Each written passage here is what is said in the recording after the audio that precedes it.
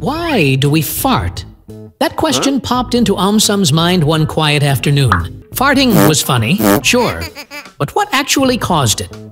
Why did his body make those odd little noises at the most random times? AumSum imagined his stomach and intestines as long, twisty tunnels, like a super secret factory hidden inside him, working non-stop. Every time he ate, he was sending food down into that factory. He imagined the food meeting tiny workers inside his digestive system. Their job was to break down parts of food that his stomach couldn't handle alone.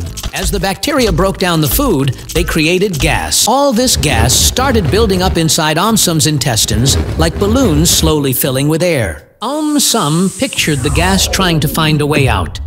It pushed and bubbled and huh? bounced around inside his belly until it found the easiest exit. The end of the line, the bottom of the digestive system. That's when the fart happened.